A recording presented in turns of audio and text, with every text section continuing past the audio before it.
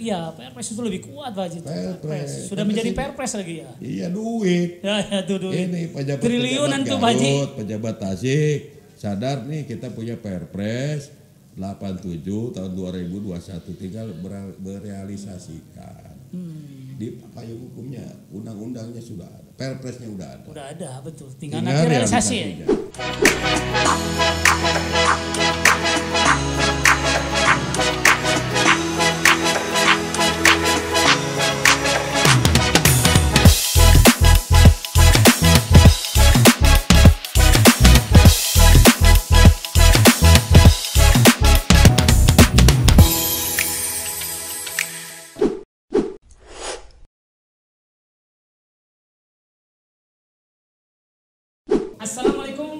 Warahmatullahi wabarakatuh. Sahabat bertemu lagi bersama saya Dadang Sugiarto di Jejak Sibatu edisi podcast. Pada kesempatan ini, pada podcast kali ini kita kedatangan bintang tamu dan kita juga kedatangan narasumber kita yang insya Allah sangat berkompeten sekali. Beliau ini adalah salah seorang pencetus dari Garut Utara atau disebut namakan dengan pimpinan atau ketua PM Gatra Garut Utara. Dan nanti kita bahas, kita tuntas bahas mengenai Garut Utara karena beliau yang sangat kompeten di dalamnya.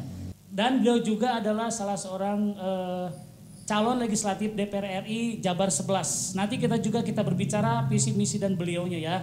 Nah di depan saya ini adalah eh, Haji Khalil Aksan Umarjen. Assalamualaikum Pak Haji. Waalaikumsalam. Eh, gimana kabarnya Pak Haji? Ke mana sehat? Alhamdulillah. Alhamdulillah. Berkah, berkah. Mudah-mudahan Allah memberikan kesehatan, keberkahan rezeki kepada kita semua dan juga kehidupannya. Amin. Amin, amin. Ya Pak Haji, eh, terkait dengan eh, di podcast saya sebelumnya, saya ada podcast-podcast yang menerangkan tentang Garut Utara. Semua orang yang saya podcast itu mengarahkannya ke Pak Haji. Nah Alhamdulillah pada saat ini kita sudah hadir di depan saya ini, di studio kami ini, Pak Haji yang lebih kompeten. Minta dijelaskan Pak Haji tentang Garut Utara. Baik, baik. Alhamdulillah. Ya, Saya harus bicara dari awal. ya Haji. Ini perjalanan panjang perjuangan Masya Allah. eh, untuk mewujudkan Kabupaten Garut Utara. Ya, Itu di kita berawal dari 2012 2012 sudah dimulai itu Pak Haji. ya sudah dimulai diawali dengan deklarasi di komplek kawasan bersejarah di makam Prabu Wijaya Kusuma Iya, iya, iya. Sunan Cipancar. Si Pancar betul. Ya, di samping bupati terakhir, di samping makam bupati terakhir Kabupaten Limbangan. Iya. Sewaktu ibu kota Limbangan, Hmm. ya Raden Wangsa Kusuma II. Oh, alhamdulillah. Alhamdulillah saat itu deklarasi dihadiri lebih daripada 5.000 masyarakat 5.000 masyarakat itu dari berbagai dari berbagai Hmm. banyak-banyaknya dari pesantren dari pesantren ya. pengajian termasuk juga pasukan para lurah ya para kepala desa Iya, iya. dan semua hadir Hmm. intinya bahwa ada keinginan untuk melihat masa depan Hmm. pentingnya eh, Kabupaten Limbangan eh, menjadi pusat Menjadi- pemerintahan lagi Hmm. ya seperti eh, dulu kabupaten ya Iya, iya, iya. kabupaten Nah, pada saat itu alhamdulillah dengan marwah ya giroh Hmm. Limbangan Ngadaun Ngora Hmm, limbangan ngadon ngora ya, Ya, alhamdulillah. peradaban politik Limbangan kan gitu ya Iya, iya, iya. Eh, baru Betul, betul. ya kita tidak mungkin bikin kerajaan ya. Iya, bikin iya. kesultanan tapi Iya. yang sangat memungkinkan adalah bikin kabupaten, Kabupaten. Alhamdulillah. Hmm. Dan saya harus melaporkan dan terima kasih kepada seluruh pengurus PM Gatra Hmm. dan juga para eh, pemakarsa Hmm. ya dari seluruh nya- yang tergabung saat itu yang deklarator Berapa kecamatan, Pak? tokoh-tokoh 11 kecamatan 11 kecamatan. 11 kecamatan. Terima kasih atas dukungannya dan alhamdulillah saya harus laporkan Oh iya, alhamdulillah. melalui Kang Dadang nih Iya, podcast oh ya. iya, iya, iya. Terima kasih. Silakan Pak Haji. Nah, bahwa perjuangan eh, pemekaran Garut Utara sudah ditandatangani disetujui oleh Bupati Garut dan DPRD Garut melalui sidang paripurna pada tanggal 1 Oktober 2020. Hmm, pada saat 2020 itu sudah selesai. Sudah selesai. Iya. Wah, Hmm, luar biasa, luar biasa. Masya Allah. Ya, dan selanjutnya mendapatkan eh, persetujuan eh, dari Gubernur Jawa Barat, ya kan, Ya. melalui surat keputusan bersama dengan DPRD, Hmm, melalui sidang paripurna, ya. dan alhamdulillah saat ini usulan pemekaran Garut Utara dengan seluruh persyaratannya, termasuk kajian akademis sudah sampai di pusat, Di pusat. Uh, luar biasa. sudah di meja presiden nih. Hmm, melalui Kemendagri, DPD, ya dan ya, yang terkait pemerintahan betul. eh, pusat. Pusat, betul. Dan alhamdulillah dari kajian akademis oleh Unpad, Visit Unpad, Hmm. bahwa eh, nilai eh, poin ya Poin untuk Gatra ya. poin untuk Gatra itu tertinggi Tertinggi yang di Jawa dari Barat. Oh, di Jawa Barat dari seluruh apa, CDOB yang dikaji oleh Unpad, oh. Oleh Unpad. Padahal duluan yang Garsel ya, Pak Haji. Nah, duluan. Tapi kita punya poin nilai tertinggi tertinggi ya. 354 berdasarkan eh, undang-undang pemerintahan nomor eh, 23 ya, Hmm. 2014. 2014. Jadi eh, alhamdulillah artinya Gatra sudah layak Sudah layak menjadi sebuah kabupaten. sebuah kabupaten. Sudah sangat layak. Jadi sedikit lagi ke sangat layak. Karena sedikit lagi Sedikit lagi. Nah, kalau sudah ada lahan ibu kota, itu sudah sangat layak. apakah sekarang sudah diputuskan, Pak Haji, untuk ibu kota? Sudah kawasannya sudah. Dan apakah Tapi- sudah tapi diparipurnakan di, di DPR RI? Sudah. Sudah selesai. Sudah selesai. Oh, Tapi tinggal sekarang menunggu keputusan dari presiden. presiden. Tinggal lahannya saja sekarang. Tinggal lahan, betul. Gatra ini makanya di In Jabar ya Hmm. di pusat saya juga ketemu dengan eh, ketua DPD Kemendagri dan terus melakukan komunikasi hmm, yang sangat layak siap untuk dimekarkan itu Garut Utara. Garut Utara luar biasa. Ini untuk lahannya eh, luasnya Garut Utara itu mencakup 11 kecamatan. Berapa itu Pak Haji? Luasnya. Apakah ditentukan sebuah luas dari sebuah kabupaten atau Ya. tidak? Nah, nah, sekarang kan belum PP, masih RPP. Oh masih RPP. Dalam RPP ada usulan eh, terkait masalah luas wilayah. Luas wilayah. Karena itu termasuk persyaratan dasar. Betul.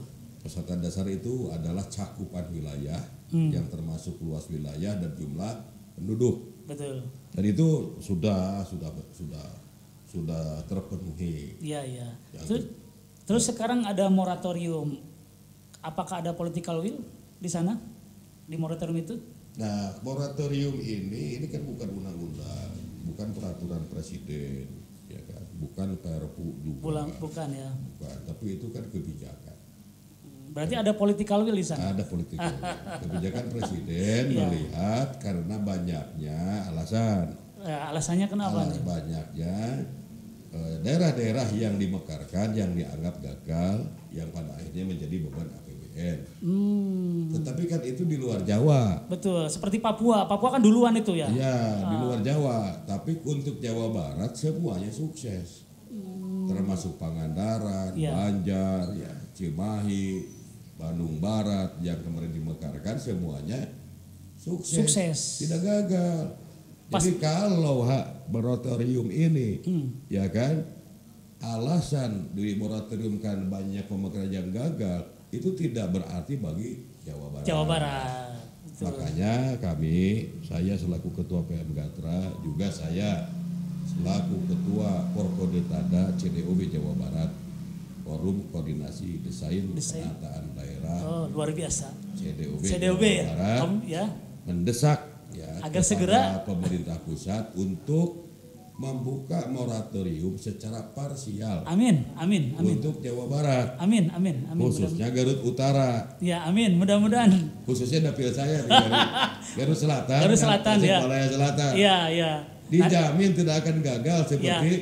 di daerah yang lain. Siap, nanti kita coba di sesi berikutnya. Sekarang Pak, apakah ada sebuah keuntungan dan kerugian dari sebuah pemekaran Pak Haji? Menurut Pak Haji nih, banyak keuntungan atau banyaknya Justru selama ini kenapa harus ada pemekaran? Nah, Ya kan? Selama ini kita dirugikan. dirugikan dalam tatanan yang bagaimana Iya, Pak? dirugikan. Diperlakukan tidak adil.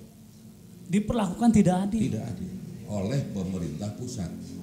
Dalam hal apa? Dalam segi politika, budaya kah? Semuanya. Semua, semua lini. Semua ini. Kita sel- tanpa sadar Jawa Barat diperlakukan tidak adil oleh pemerintah pusat. Karena atas berdasarkan perimbangan. Salah satu contohnya Pak Haji, salah satu contoh, mohon maaf saya potong. Salah satu contoh dari kerugian yang dirugikan dari eh, pusat itu seperti apa Pak Haji? Begini, kita bicara duit. Ya, duit. Duit dari pusat Betul, yang ke Provinsi Jawa Barat. betul. Berbeda dengan yang ke Provinsi Jawa Timur. Oh, Jawa Timur dengan penduduk 30 juta, kabupaten kotanya 38. 38. Jawa- Kalau Jawa Barat, Jawa Barat 50 juta penduduk, kabupaten kotanya 27. Beda berapa tuh? beda tiga itu. 11. 11 ya, 11. 11 kabupaten. Betul. Kota kan? Ya, Kalau per kabupaten APBD-nya minimal 4 triliun. hmm. Selisihnya berapa? Wah luar biasa. 44, triliun. 44 triliun. Ah, selama ini kita rugi. Ada selisih 44 triliun Masya Allah. ya dana yang mengalir dari pusat ke Jawa Ke Jawa Timur. Timur. Sementara ke Jawa Barat, Di Jawa Barat 27 karena masalah DAU DAK dari pusat tidak melihat jumlah penduduk atau luas wilayah, Hmm, tapi jumlah pusat pemerintahan betul. seperti desa. Desa di Iya. kita baru 5.000. 5000 betul. Nah, Jawa Tengah 8.000. Berbedanya Beda- Dana desanya besar ke mana? ke Jawa berarti Jawa Timur. Jawa Tengah, Oh, Jawa Tengah. ya kan? Ya. Nah, keuntungannya kalau desa dimekarkan dari tadinya dana desa 2 miliar Hmm. per desa dimekarkan jadi dua desa jadi berapa miliar? 4 miliar. 4 miliar. Begitupun Garut. Masya Allah. Garut sekarang 42 kecamatan dengan jumlah penduduk Berapa juta berkisar 3 juta dan terus bertambah Bertambah ya. dengan 4 triliun APBD.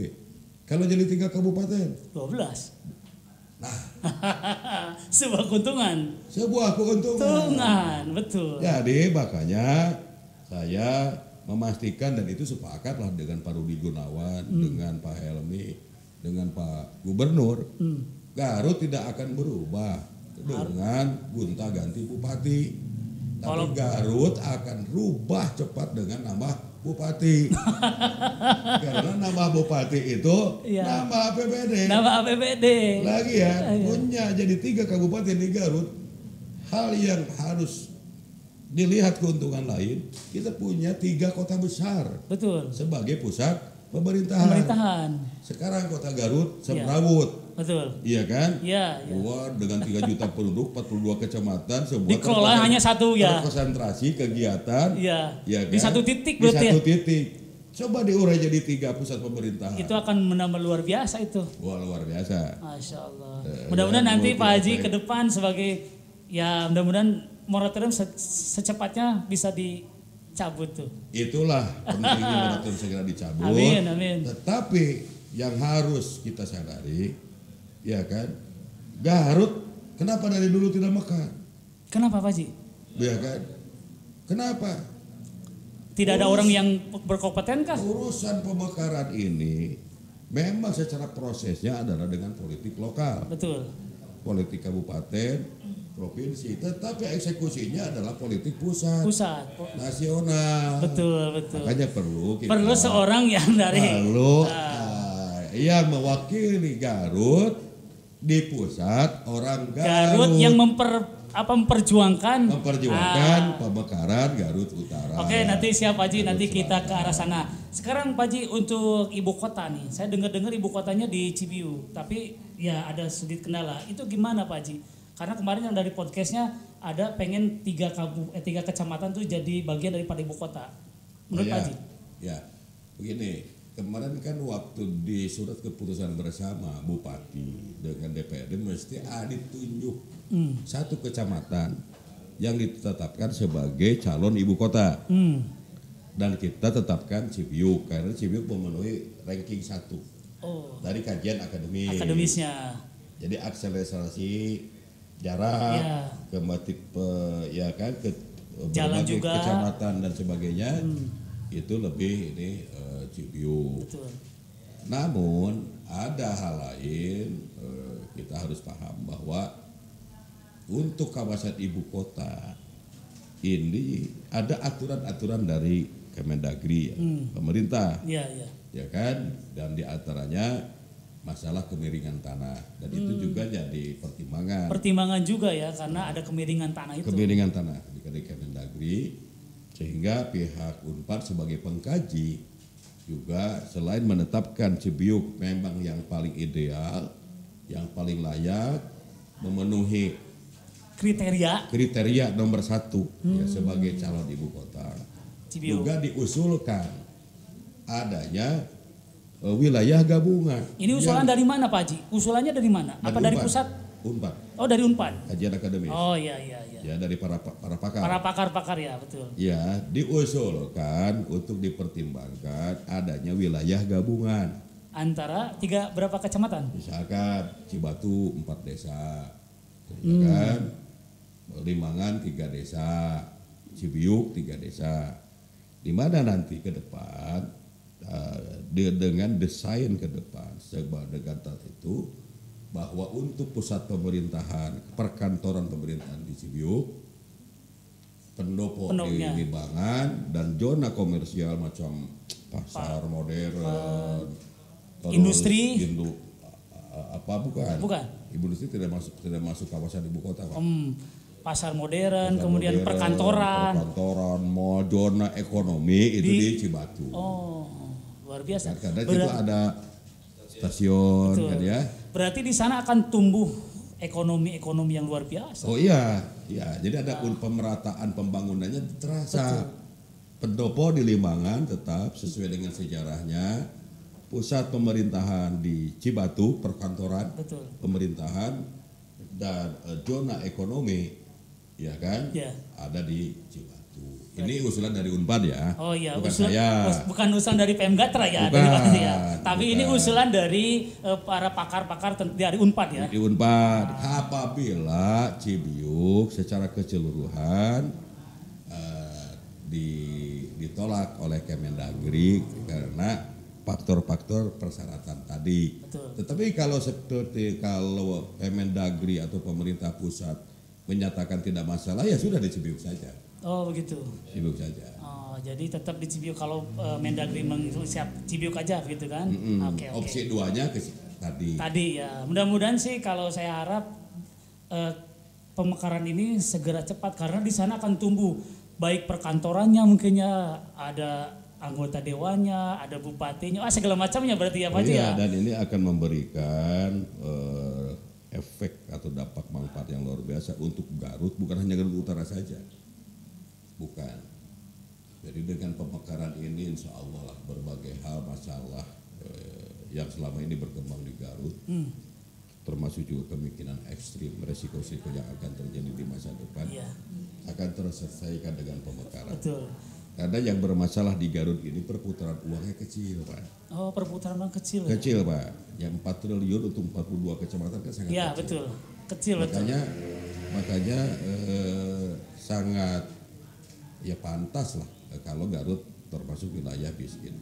Karena perputarannya kecil. Hmm. Ada juga dari APBD setiap eh, yang diserap oleh para ASN Iya. kan setiap habis gajian Pak belanja deh pada di mall Alfamaret Iya, betul. itu pindah lagi ke Jakarta Pindah- iya. Jadi putarannya Nggak- uangnya lebih nggak kecil di, lagi. Nggak di, nggak apa, nggak di lokal gitu kan, di nggak di lokal. daerah, betul. Ya mudah-mudahan nanti eh, saya bisa menghadirkan Pak Haji dan informasi yang Pak Haji sampaikan ini eh, mereka masyarakat teredukasi bahwa pemekaran itu sangat penting, tidak hanya politikal saja, tapi juga di sana ada keuntungan-keuntungan buat masyarakat juga, Pak Haji Oh betul. iya, dan ini adalah bakal ini adalah satu tanggung jawab kita bersama untuk menggolkan. Karena ini adalah bagian daripada bagaimana kita mengatasi resiko-resiko berat masa depan apabila kita tidak berbuat sesuatu hari ini sebagai tanggung jawab terhadap anak cucu ke depan.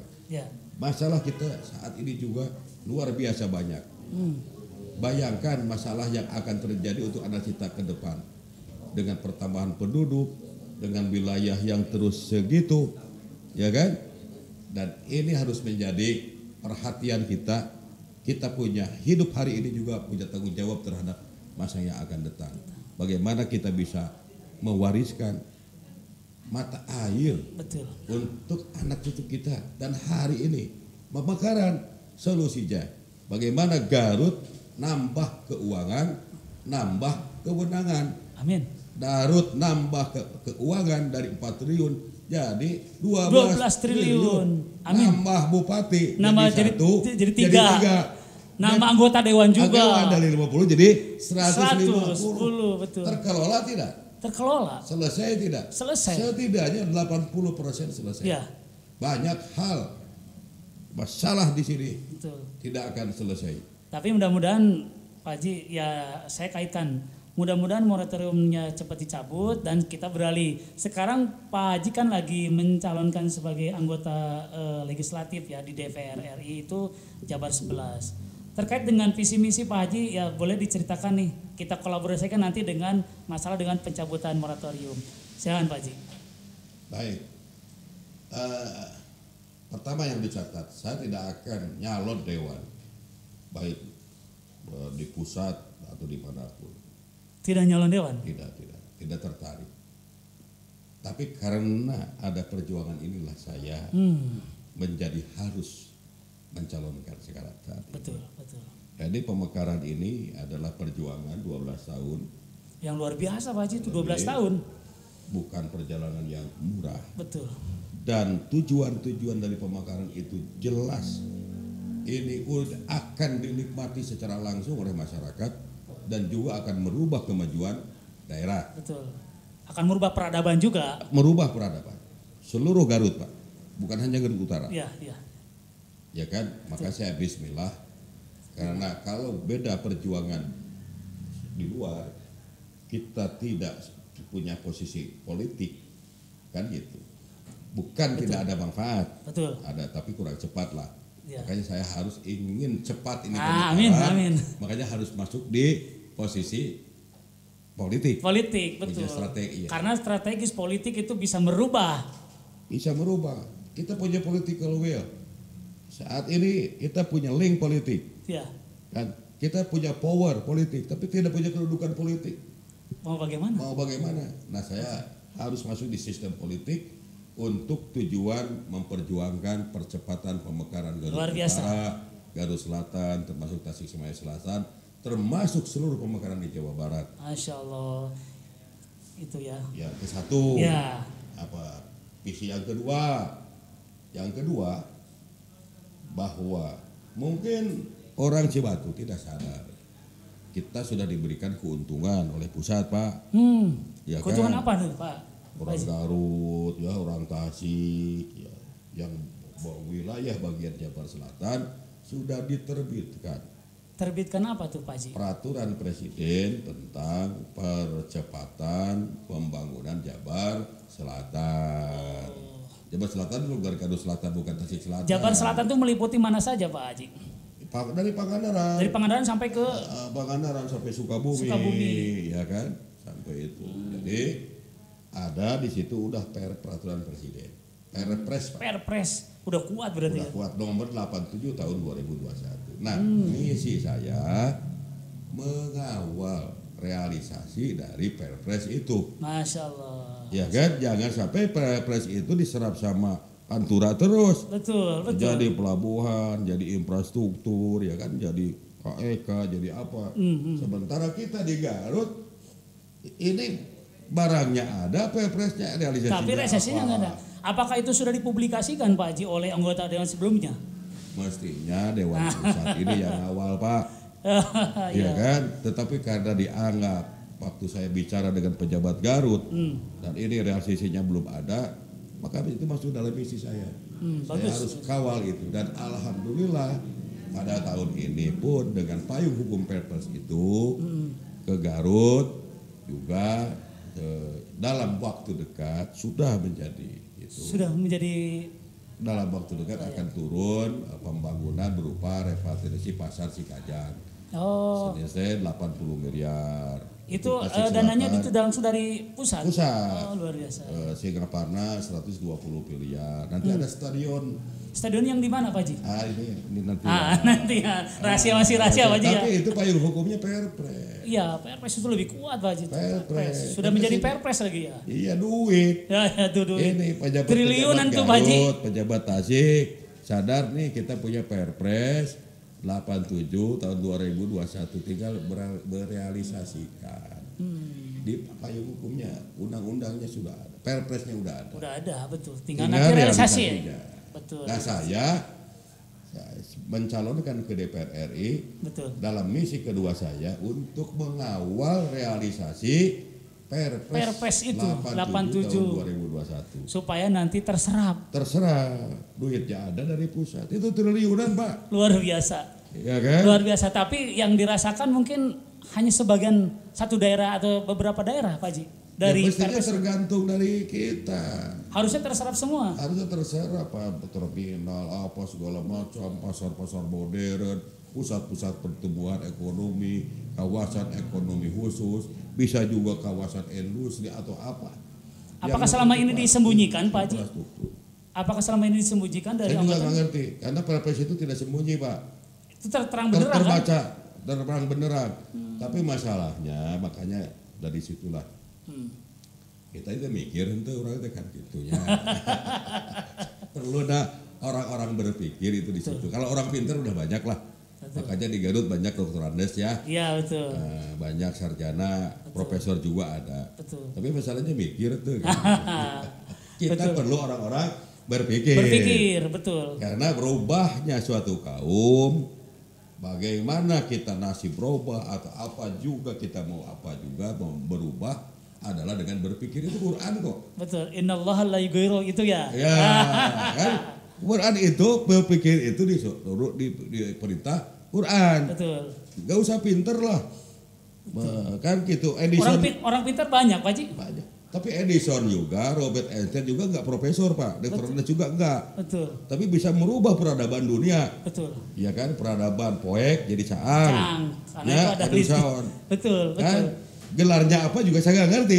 Tapi yang jelas itu orang berpikir Betul. dan dia cerdas. Betul. Orang berpikir dan cerdas. Berpikir itu perintah Quran, cerdas itu sifat-sifat kepemimpinan yang utama. Hmm. Ya. Yang harus dimiliki oleh Yang di- harus dimiliki. Itu hadis Nabi kok. Hmm.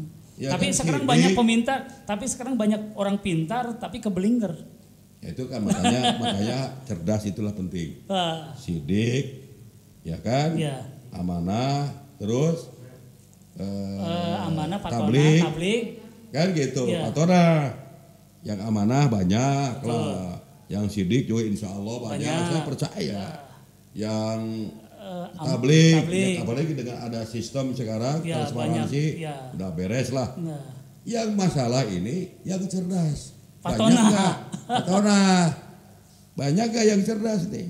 Karena cerdas ini ya belum tentu lah. Belum tentu ya. Jadi Karena kita perlu pemimpin yang cerdas.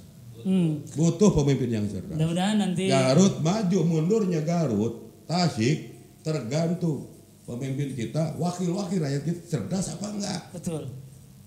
Ya kan? Cerdas membaca sesuatu Nah, eh, cerdas ini situasi. nggak ah, cerdas, cerdas ini nggak bisa nggak Dibeli bisa dengan uang. dibeli dengan, Dengan uang. uang. pak ijazah bukan nggak ada ijazah kecerdasan Betul. yang ada tes kecerdasan Tes betul, Iya, intelijensi ya. tes IQ yang mudah-mudahan ke depan lah yang nyalon bupati yang nyalon dewan tes IQ lah kecerdasan Amin, amin, amin. karena bagian penting Iya. ini penting Rasulullah kok Betul.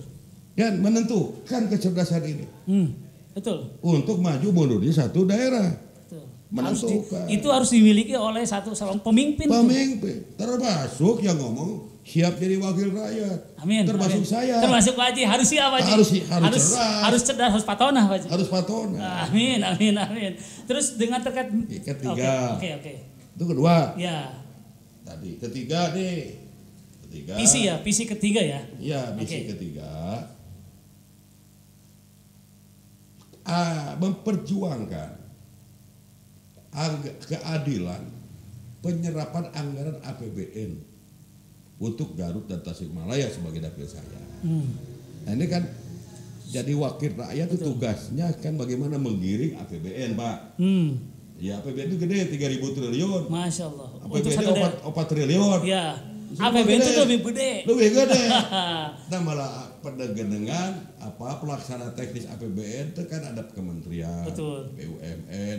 Nah selama ini udah nyampe nggak di ke Garut? Berapa Nyampe? persen diserapnya Pak Haji? Disampai diserapnya berapa persen ke Garut? Ya, nah, Yang berapa per- persen yang, Pak Haji? Yang pertanian, ya PUPR, kementerian seluruh kementerian. Apakah sudah 100% diserap? Iya, kayak kayak begini kayaknya ini kira Masih kurang ya? Iya, artinya akses untuk menyerap itu yang seharusnya di, oleh wakil-wakil rakyat kita di Nah, DPR begitu. RI Jadi dengan adanya Pak Haji ini mencalon menggiring APBN dan APBD supaya terserap. terserap ke Garut. Kan jangan teriak tiap tahun benih jagung aja terus. Kan gitu ya. Iya betul. Coba stadion kayak apa kayak Betul, betul. jalan layang gitu. Kan Mudah-mudahan gitu. betul betul Haji. Nah, yang ketiga misi saya menjunjung tinggi martabat bangsa negara Hmm. dengan memanusiakan masyarakat dalam kesetaraan dan keadilan. Memanusiakan masyarakat, Iya, memasyarakat man- manusia. memanusiakan masyarakat Ah, manusia. yang sudah merasa tidak jadi manusia, Iya. ya kan? Iya. Itu kan tugasnya pemimpin itu, Betul. wakil rakyat memperjuangkan penderitaan rakyat, Hmm. ya kan? Jangan penderitaan keluarga kan? Gitu. Iya, penderitaan rakyat. Penderitaan rakyat. Bagaimana rakyat-rakyat yang sudah merasa tidak jadi manusia dimanusiakan kembali.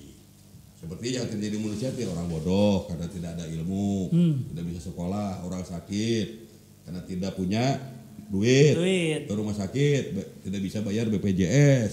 Kelangkaan pupuk. Kelangkaan beda, beda. Beda itu beda beda.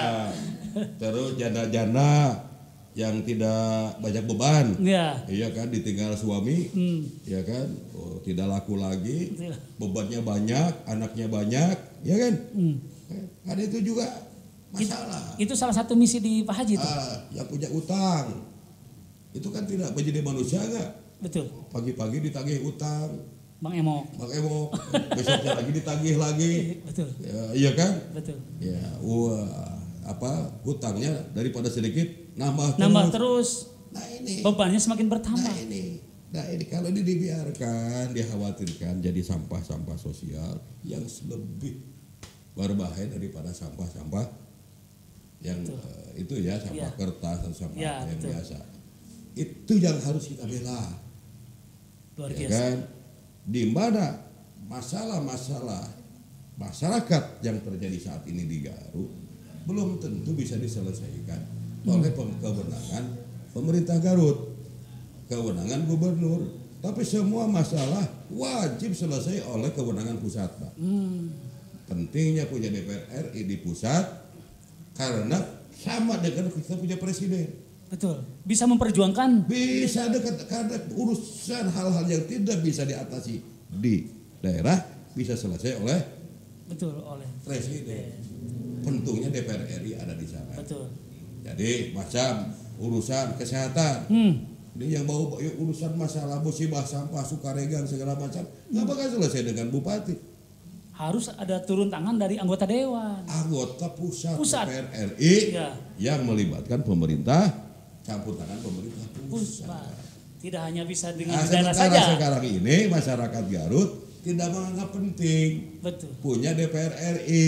Karena katanya banyak yang sudah jadi tidak bisa apa-apa, tidak bisa berbuat di Malah daerah, lebih, Pak lebih, lebih banyak bicara ca- politik politik lokal. Dan itu juga bukan tidak penting perlu politik lokal para para dewan DPRD Oke, betul. tapi yang bisa merubah signifikan ke depan Campur tangan DPR RI pemerintah pusat Ada campur tangan berarti ya, campur Wah, tangan. iya, yang ngatur APBD di sini juga pusat kok Oh, apalagi kita punya langsung ada di sistem pemerintahan pusat hmm. harus itu satu keuntungan. Harus. Ini malah DPR DPR RI dari Garut banyak kan pendatang nggak kenal kan gitu. Hmm. Cobalah muncul putra-putra daerah Putra-putra Garut. Bukan Garut. hanya saya pak. Ya, Muncul. Mana jagoan? ya Garut? jargon-jargonnya mana nih? Mana jagoan-jagoan? Muncul dong. Nyalon DPR RI. Masa orang terus yang nyalon gitu. Iya. Luar biasa mis, visinya Pak Haji nih. Mudah-mudahan tadi ada berapa visi Pak Haji? Empat. Empat visi. Cuman empat pak. Empat. Karena saya nomor empat. Ah, nomor empat ya. Visinya itu tadi lah. Visinya bagaimana Garut dan Tasikmalaya maju lebih cepat. Pak Haji, apa yang nanti akan perjuangkan Pak Haji ketika Pak Haji menjadi seorang eh, anggota Dewan Legislatif DPR RI untuk Dapil Jabar sebelah? Oh yang tadi ya misi tadi. Tadi. Saya konsisten aja lah. Konsisten ya? Konsisten Bisa dicatat nanti ya ini Ya. ada eh, rekam jejak digital. Ya, ke satu memperjuangkan pemekaran Garut Utara, Iya. Garut Selatan dan Tasikmalaya Selatan Hmm, atau Jawa Barat. betul.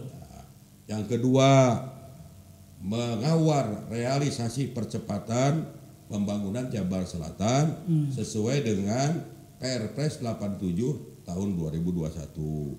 Ketiga, eh, memperjuangkan keadilan penyerapan APBN dari pusat ke Garut dan Tasikmalaya sebagai dapil saya. Hmm, hmm.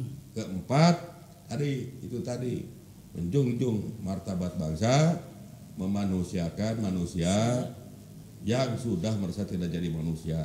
Artinya yang banyak bingung, banyak beban, banyak masalah itu harus dibela.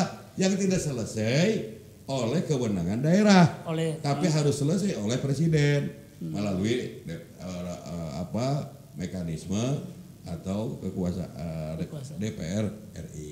Hmm, betul. oke. Kan gitu. Jadi itu adalah gambaran secara umum ya Pak Haji. Jadi Pak Haji akan memperjuangkan apa yang tadi Pak Haji ini kan. Ini eh, berapa kabupaten Pak Haji? Dua kabupaten kan ya Pak Haji? Tiga. Tiga. Satu, satu kota, dua kabupaten. Kota Tasik. Kota Tasik, Tasik. Kabupaten Tasik, Kabupaten Garut. Hmm, luar biasa. Mudah-mudahan Pak Haji apa yang Pak Haji inginkan dan Pak Haji Ta'algan hari ini eh, dari eh, segi visi dan misinya mudah-mudahan Allah Subhanahu wa taala mengabulkan. Terakhir Pak Haji nih, disimpulkan eh, mengenai Gatra dan juga Pak Haji dari eh, pencalonan. Baik.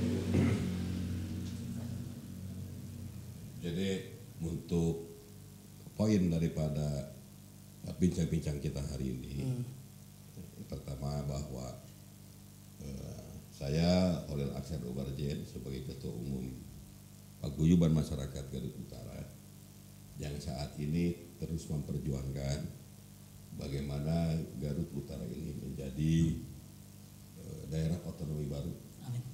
setingkat kabupaten dan saya juga sebagai ke- ketua forum koordinasi desain penataan daerah CDOB Jawa Barat yang menaungi seluruh pemekaran eh, kabupaten kota yang ada di Jawa Barat.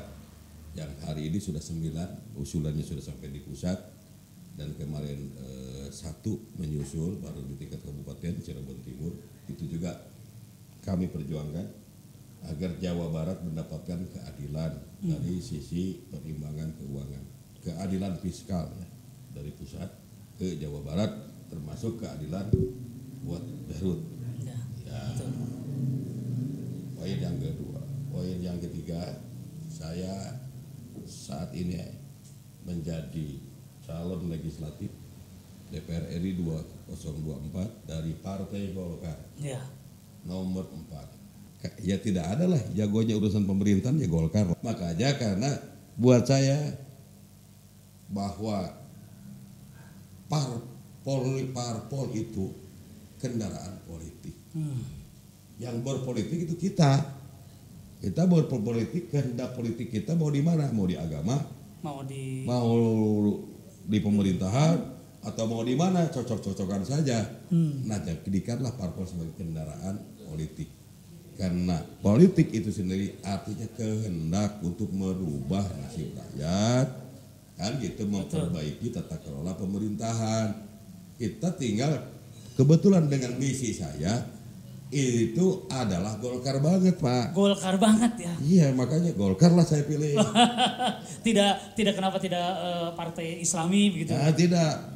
Dan karena yang sekarang yang saya perjuangkan tadi tidak boleh Pemekaran itu ya. tidak boleh beroposisi dengan pemerintah. Hmm. Dia kan ada berdasar pemerintah meminta. Betul. Nggak boleh saya beroposisi. Betul. Masa mau minta-minta jadi oposisi? Dan dipastikan Golkar partai yang tidak ada sejarahnya menjadi oposisi. Betul. kalah menang tetap, Tetap jadi, partai, partai- pemerintah. Betul, betul. Itu saja.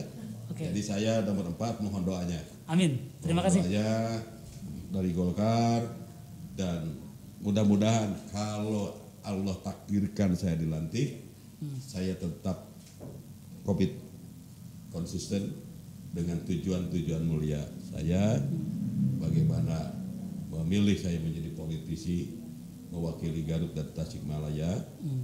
demi untuk manfaat kemajuan dan Amin. sebagainya bagi masyarakat warga dan daerah Oke.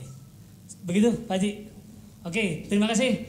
Eh, saya tutup juga berpolitik kita perlu karena dengan politik kita akan bisa merubah tatanan kehidupan kita baik di daerah, di pusat maupun secara umum.